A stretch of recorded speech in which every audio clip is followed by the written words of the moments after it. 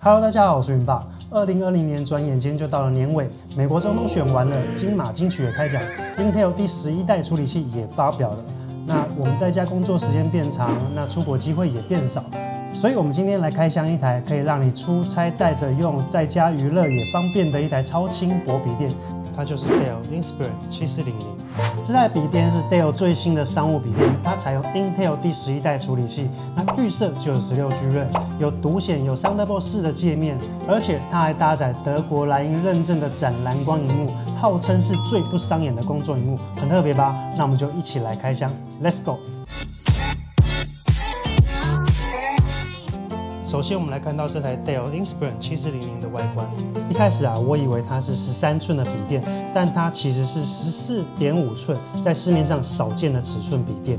因为你看它荧幕的边框无敌窄，而且非常轻，只有一点二五公斤。Dell Inspiron 七四零零整台材质都是全金属打造，AC 键是铝合金，那 D 键是镁合金，搭载的是五十二瓦时的电池，一点二五九公斤的底盖。铝合金坚硬扎实，也更可靠。商务笔电呢，我们要的就是稳定使用，而且它雾面磨砂的手感也不容易留下指纹。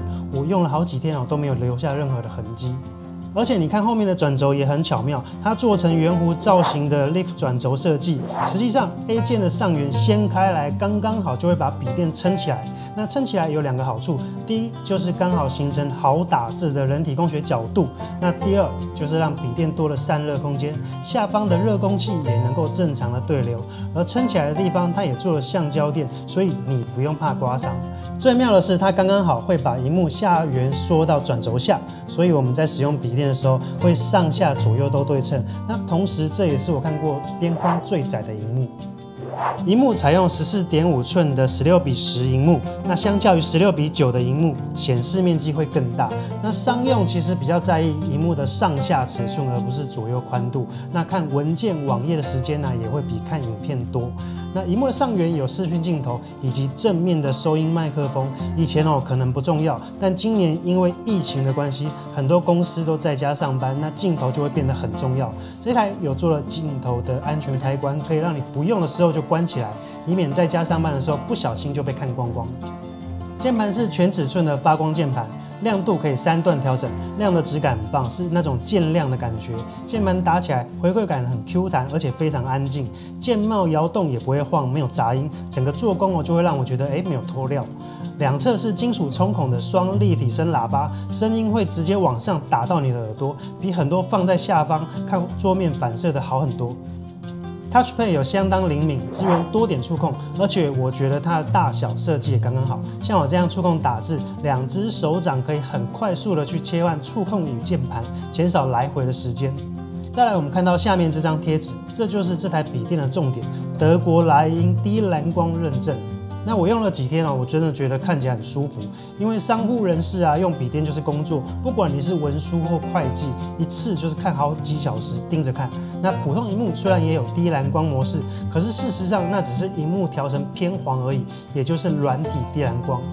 这台就不一样哦，是真正的物理性低蓝光。你看哦，你现在看到的画面其实就是已经是低蓝光的状态，可是它的颜色完全没有色偏，没有偏黄，而且它的面板规格是八 bit QHD Plus 解析度的低蓝光荧幕，亮度达三百尼特，百分之百的 sRGB。那在外面咖啡店工作，你也可以正常观看，雾面荧幕也不太会有反光的问题。那么再来，我们看到侧边，左边有 AC 电源孔，出货一般附的是六十五瓦的变压器。那再来是 HDMI 二点零、USB 三点二、卷 One，那 USB C，而且这一孔 USB C 支援的是最新的 Thunderbolt 四的界面，也同时支援 USB PD 充电，所以你可以把充电器放在家里，出门带一个多孔的 USB PD 来充笔电跟手机。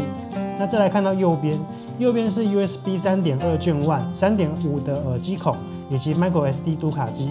那再来我们翻过来，它的背面有一大片的散热孔，四个角落都有橡胶垫支撑。而它的另外一个特色就是它能够升级 SSD，只要你拆下七颗螺丝，就可以把硬碟升级到最高两 TB 的 M.2 SSD。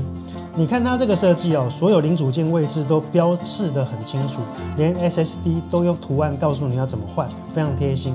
那我们也顺便看一下它的内部结构，整台机器的发热区域啊，像是 CPU、GPU 都集中在上半部靠转轴的地方，所以手腕区啊放着我几乎都不会感觉到热，长时间使用都会很舒服。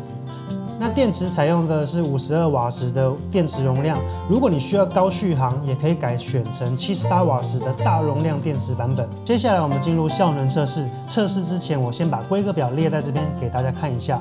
在续航力的部分呢，我分成两种，一种是效能全开的模式，大概是四小时，而省电模式啊，大概是多了半小时左右。这个续航力哦，就我自己而言，我觉得算够用。基本上我身上都会带一颗 USB PD 的充电器，随时找插座充电都可以。充电其实也蛮快的，我实测从十八趴到八十趴，大概花了五十分钟。实际的使用上啊，我拿它用达芬奇十七剪辑一个十分钟的四 K 影片，输出转档的时间啊，大概是这样子，其实也蛮够用。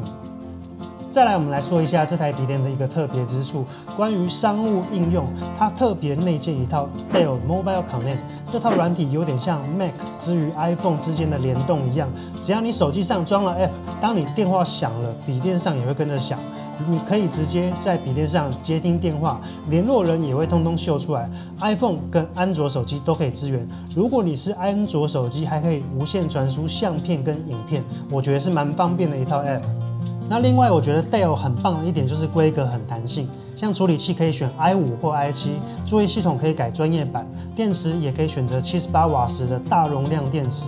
如果你是替老板买电脑，你也可以加购意外险，像是雷击啊、泡水啊、摔机，通通都可以帮你修到好。不过，因为它本身就是两年的国际顶级保护，有限定地区，有二十四小时的电话诊断，工作日到府服务，电池也有一年的保护，一切都很弹性，就看你的预算跟需求要怎么调配。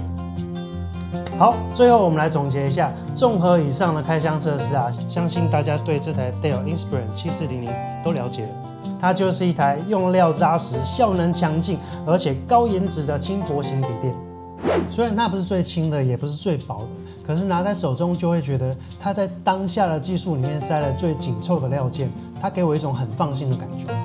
而且我特别喜欢它的荧幕，因为我本身眼睛也不太好，黄斑部有问题，特别的敏感。可是用这台工作起来真的不会那么累。买笔电呢，其实要认真注意的地方还不少。买来至少要用三年以上，不能只看 CPU、RAM 这种表面上的规格，还有很多细节要注意，也不能只看价格。好，以上是今天的开箱介绍。如果大家对这台笔电有什么问题，欢迎在底下留言。我是云爸，那我们就下次影片再见喽，拜拜。